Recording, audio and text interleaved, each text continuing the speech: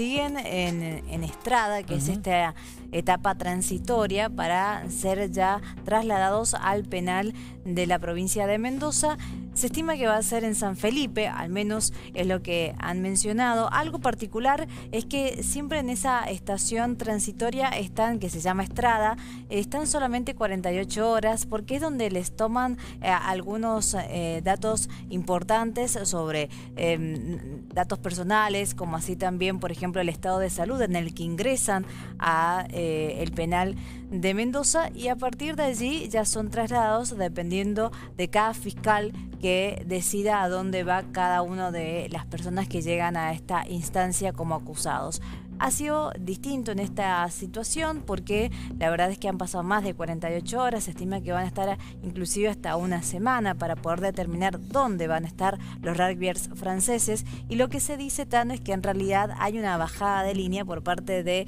Puño Libarona. Esto no lo tengo oficialmente eh, confirmado. Eh,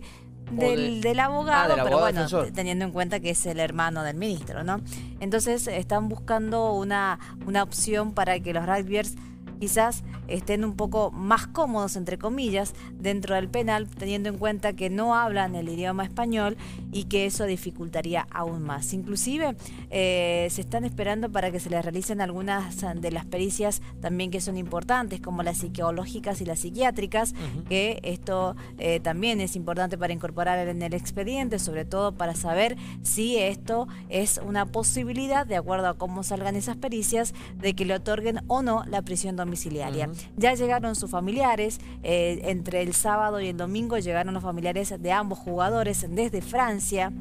La intención de estos familiares es fijar un domicilio aquí en la provincia de Mendoza. Se dice que inclusive el, espadio, el, padre perdón, de, em, de, uno de ellos, que es Oradú, eh, que es también jugador, ex jugador de rugby, muy conocido en su país, que ha sido hasta director técnico de algunos, em, de algunos clubes de rugby allá en Francia, llegó a la provincia de Mendoza el sábado y tiene intenciones de quedarse a vivir acá en Mendoza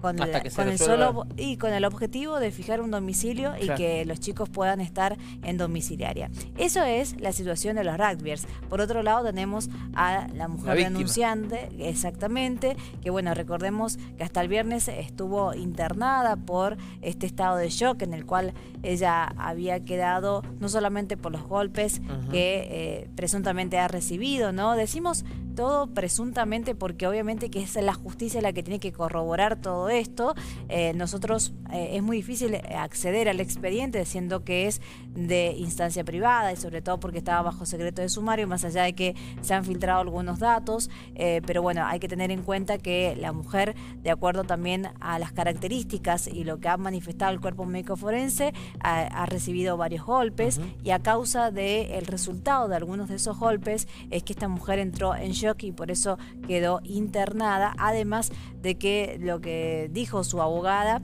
eh, querellante es que tenía eh, una úlcera a causa de los medicamentos que había tomado también por esta situación que le había tocado vivir. Por lo tanto, se espera que este lunes eh, empiecen las declaraciones, algunas testimoniales, por ejemplo, de una amiga de esta mujer que podría dar algunos datos también de qué pasó esa noche. Estamos diciendo que fue hace una semana atrás, este hecho que la verdad ha dado la vuelta al mundo, sobre todo por quiénes son los protagonistas, estos dos jóvenes franceses que, eh, bueno, una promesa también del rugby eh, de ese país. Por eso es que ha llamado tanto la atención, sobre todo Oradú, que es el más complicado y que eh, viene de una familia de justamente de, rugbyers eh, y su padre es muy conocido, inclusive es muy amigo de jugadores de los Pumas de antes y bueno, la verdad es que en ese sentido ha llamado mucho la atención todo lo que ha pasado, pero bueno, hay, hay una instancia procesal de por medio